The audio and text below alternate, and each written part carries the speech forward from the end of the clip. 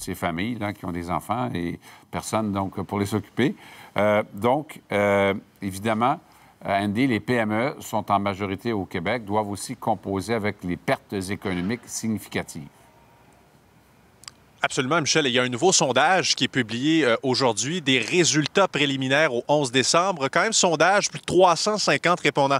Ce qui en sort essentiellement, Michel, c'est qu'il y a des effets négatifs, des effets néfastes, euh, donc, euh, qui, qui, sont occasionnés directement par les grèves du secteur public. On peut penser rapidement comme ça une réduction du niveau de, de, la productivité, mais dans certains cas, une baisse d'achalandage allant jusqu'à 50% Michel. Et, et, quand je dis dans certains cas, je pense entre autres au secteur de la restauration, au secteur du, commerce de détail qui observe des annulations et donc des pertes de revenus. C'est donc un sondage de la Fédération canadienne de l'entreprise indépendante. Et si vous le voulez bien, Michel, on va voir ce tableau que l'on vous a préparé avec certaines euh, données. Donc, 49 c'est près de la moitié des PME qui affirment qu'elles ont nui ou nuiront à leur entreprise. Michel, je parle ici bien sûr des grèves. Le tiers rencontre des difficultés de gestion des employés.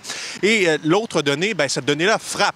75 des PME qui souhaitent un règlement rapide, qui croient que le gouvernement du Québec doit, en d'autres mots, Michel, utiliser tous les outils disponibles pour mettre fin à la grève et ce, le plus rapidement possible. J'en ai parlé avec François Vincent, vous allez le reconnaître, de la Fédération canadienne de l'entreprise indépendante, qui nous donne quelques détails, quelques données supplémentaires.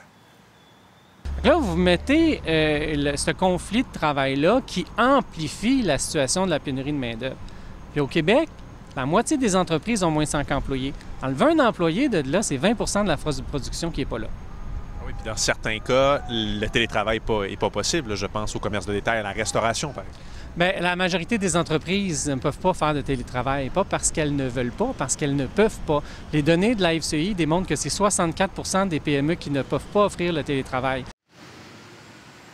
Alors voilà, concernant, c'est euh, donc un sondage de la Fédération canadienne de l'entreprise indépendante. Euh, Michel, je rappelle que ce sont des données qui sont préliminaires au 11 décembre, plus de 350 répondants. Merci beaucoup, Andy.